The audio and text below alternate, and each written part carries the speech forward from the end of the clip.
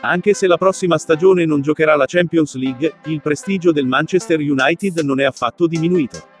Mu rimane una destinazione attraente per i giocatori di punta nel mercato dei trasferimenti estivi 2024. Uno dei giocatori che secondo quanto riferito sta dando priorità al passaggio alla muela stella della Juventus Federico Chiesa. Questo esterno infatti è nella lista delle cessioni della Juventus nell'estate 2024 perché non rientra nei piani del nuovo allenatore Thiago Motta.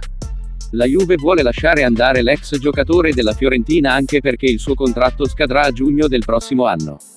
La Juve non vuole perdere Chiesa gratis come accadde a Paolo Di Bala l'anno scorso. Secondo quanto riportato dalla Gazzetta dello Sport di fine luglio 2024, Chiesa ha già deciso in quale club vuole andare la prossima stagione. Preferirebbe difendere il Mu rispetto ad altri club come Roma o Liverpool. Chiesa non ha problemi con il fatto che il Mu non giocherà in Champions League e giocherà solo in Europa League la prossima stagione.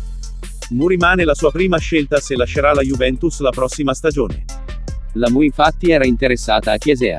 I Red Devils avranno bisogno dell'energia di Federico Chiesa per diventare un rivale di Marcus Rashford o Anthony, le cui prestazioni la scorsa stagione sono state molto deludenti. Anche il prezzo di Chiesa rientra ancora nel budget di trasferimento del Mu.